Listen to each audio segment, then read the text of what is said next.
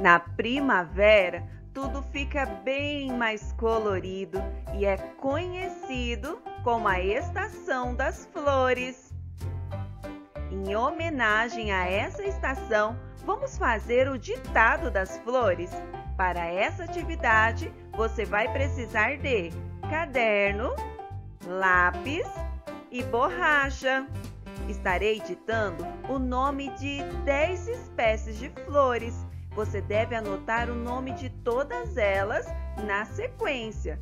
Ah, e se precisar, pause o vídeo. E aí, entenderam? Podemos começar? Então vamos lá. Primeira flor: girassol. Segunda flor: margarida. Terceira flor: orquídea. Quarta flor: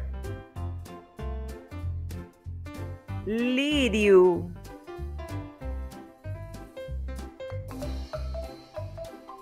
Quinta flor: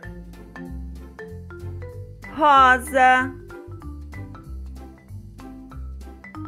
Sexta flor: gerbera. Sétima flor: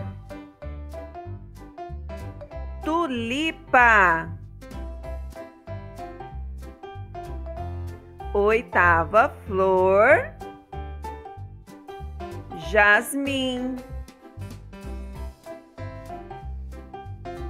Nona flor: jacinto. Décima e última flor: hortênsia. Ufa, terminaram! Agora envie para o seu professor ou para a sua professora para fazer a correção. Até a próxima, pessoal! Tchau!